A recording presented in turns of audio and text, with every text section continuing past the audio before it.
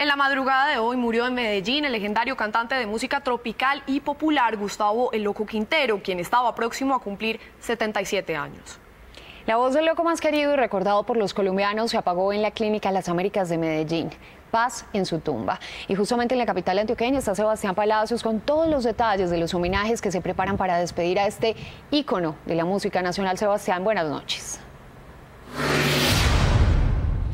Así es, Alejandra, televidentes, muy buenas noches. Yo los saludo desde Medellín, la capital antioqueña, el departamento que vio nacer a un grande, al rey de la música tropical. Hoy precisamente los antioqueños, los colombianos, los fanáticos de esta música están tristes, precisamente porque en plena Navidad hoy se despidió de gran parte de su público. Y es por eso que ya todo está listo para un gran homenaje. El día de mañana, cerca de las 11 de la mañana, en la iglesia metropolitana se realizará una Eucaristía para darle el último adiós a una persona que llenó de alegría no solamente a los adultos, sino también a los niños que corearon gran parte de sus grandes éxitos.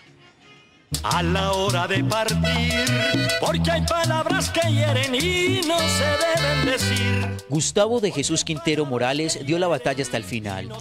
A sus 76 años falleció después de permanecer hospitalizado desde el pasado viernes por una dificultad médica que no fue dada a conocer a la opinión pública por petición de sus familiares. Su personalidad era única para un loco demasiado cuerdo. Gustavo era en el escenario el showman de, que dicen que era él.